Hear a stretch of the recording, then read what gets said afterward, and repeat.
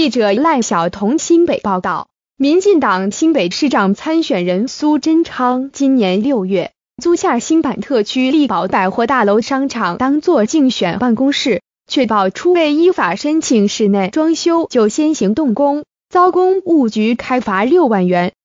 苏贞昌今天向社会大众致歉，承诺将严格要求厂商把相关程序办理完成。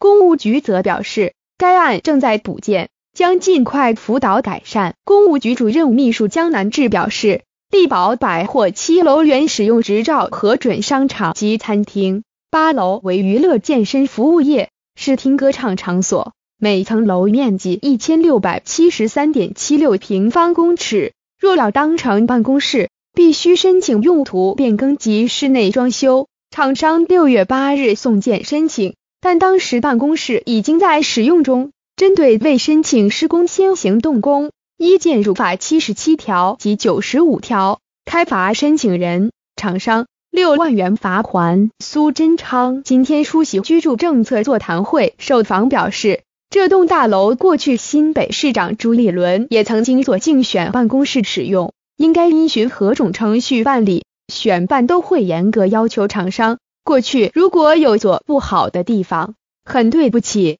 跟大家道歉。选办将要求厂商把相关手续完成。对于是否收到罚单，苏贞昌回应已有相关同仁办理。江南志说明，厂商虽已送件申请，但至今未申请竣工，公务局将于一星期内联系厂商辅导改善，希望尽速协助合法。他提醒。申请竣工必须确认消防安全并备妥相关文件，若经辅导仍无法完成相关程序，将再开罚六万元至三十万元。